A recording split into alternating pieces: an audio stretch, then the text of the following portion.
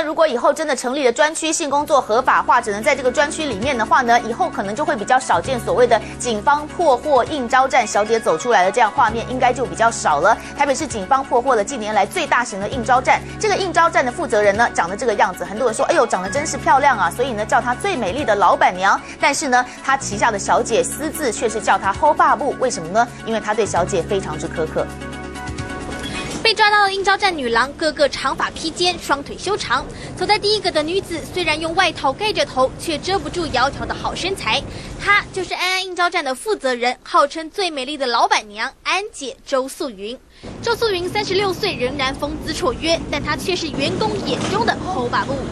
他够用的扣客员工表示，周素云不但常骂人，工作规定也很严格。